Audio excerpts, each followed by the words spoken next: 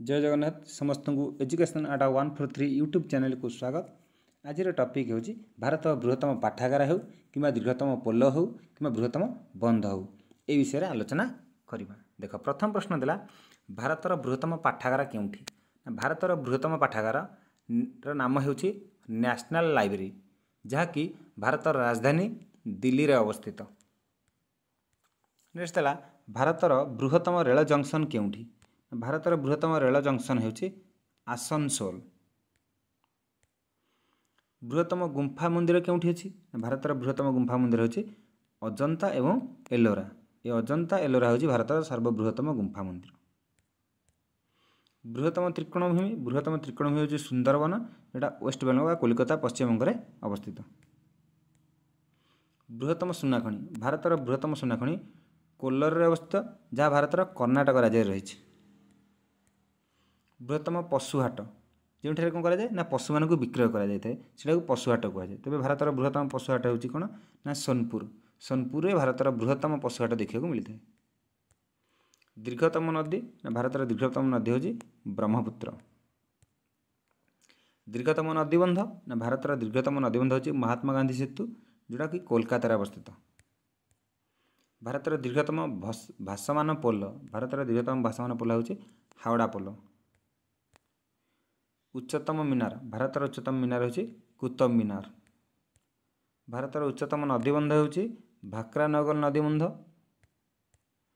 ଆନ୍ଧ୍ର ତାମିଲନାଡ଼ୁର ପର୍ବ କ'ଣ? ବା ଆନ୍ଧ୍ର ତାମିଲନାଡ଼ୁ ଜାତୀୟ ପର୍ବ କ'ଣ? ଆନ୍ଧ୍ର ତାମିଲନାଡ଼ୁ ଜାତୀୟ ପର୍ବ ହେଲା ପୋଙ୍ଗଲ ଏବଂ ନବରାତ୍ରି।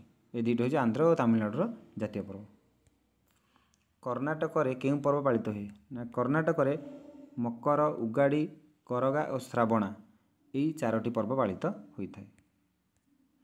ସର୍ବଭାରତୀୟ ସ୍ତରରେ କେଉଁ ପର୍ବ ପାଳିତ ହୁଏ? ନା ସର୍ବଭାରତୀୟ ସ୍ତରରେ ମହାକୁମ୍ଭ ଇଷ୍ଟର ମହରମ ଓ ଦୀପାବଳି ଏହି ଚାରୋଟି ପର୍ବ ପାଳିତ କରାଯାଇଥାଏ।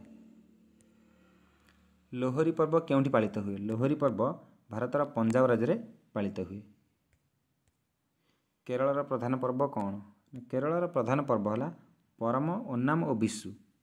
କେରଳର ପ୍ରଧାନ ପର୍ବ ହେଲା ପରମ ଓନାମ ବିଶୁ। ତୁମମାନଙ୍କ ପ୍ରଶ୍ନ ହେଲା ଓଡ଼ିଶାର ପ୍ରଧାନ ପର୍ବ କ'ଣ? ଆସାମରେ କେଉଁ ପର୍ବ ପାଳିତ ହୁଏ? ନା ଆସାମରେ ବିହୁ ଓ ଭୋଗଲି ପର୍ବ ପାଳିତ ହୁଏ। ଭାରତରେ କେତୋଟି ସାମୁଦ୍ରିକ ବନ୍ଦର ରହିଛି ବା ଭାରତରେ କେତୋଟି ସାମୁଦ୍ରିକ ବନ୍ଦର ନାମ କ'ଣ? ଭାରତରେ ଥିବା ସାମୁଦ୍ରିକ ବନ୍ଦର ଗୁଡ଼ିକ ନାମ ହେଲା ପାରାଦ୍ୱୀପ କୋଲକାତା ବିଶାଖାପାଟଣା ହଳଦିଆ ଚେନ୍ନାଇ କାଣ୍ଡଲା ଗୋପାଳପୁର ଭାବନଗର କାଲିକଟ। ଏଇ ଯେଉଁ ବନ୍ଦର ରହିଛି ଏଥିରୁ କେତୋଟି ବନ୍ଦର ଆମ ଓଡ଼ିଶାରେ ଅବସ୍ଥିତ? ତାକୁ କମେଣ୍ଟ ବକ୍ସରେ କମେଣ୍ଟ କରି ଜଣାଇବେ।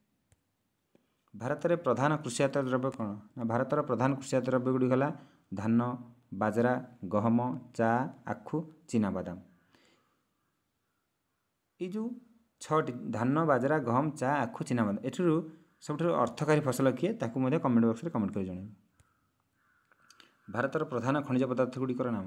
ନା ଭାରତର ପ୍ରଧାନ ଖଣିଜ ପଦାର୍ଥ ଗୁଡ଼ିକ ନାମ ଭାରତରେ ଉତ୍ପାଦନ କରାଯାଉଥିବା ପ୍ରଧାନ ଖଣିଜ ପଦାର୍ଥ ଗୁଡ଼ିକ ନାମ ହେଲା କୋଇଲା ବକ୍ସାଇଟ୍ କୋବାଲଟ ତମ୍ବା ଗ୍ରାଫାଇଟ୍ ଲୁହାପଥର ସିମେଣ୍ଟ ମାର୍ବଲ ଓ ଲିଡ୍।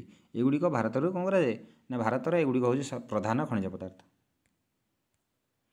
ସୋଲପୁର କାହିଁକି ପ୍ରସିଦ୍ଧ? ନା ସୋଲପୁର ଟେକ୍ସଟାଇଲ ଟେକ୍ସଟାଇଲ ପାଇଁ ପ୍ରସିଦ୍ଧ। କ୍ଷେତ୍ରୀ କାହିଁକି ପ୍ରସିଦ୍ଧ? ନା କ୍ଷେତ୍ରୀ ତମ୍ବା ପାଇଁ ପ୍ରସିଦ୍ଧ। ତମ୍ବା ଉତ୍ପାଦନ ପାଇଁ ଭାରତର କ୍ଷେତ୍ରୀରେ ପ୍ରସିଦ୍ଧ। ସୁରଟ କାହିଁକି ପ୍ରସିଦ୍ଧ? ନା ସୂତା କଳ ବା ଲୁଗା କଳ ପାଇଁ ସୁରଟ ପ୍ରସିଦ୍ଧ।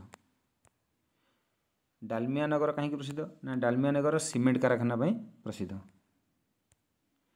ରାଣୀଗଞ୍ଜରେ କ'ଣ ମିଳେ ନା ରାଣୀଗଞ୍ଜରେ କୋଇଲା ମିଳିଥାଏ ସର୍ବାଧିକ ପରିମାଣର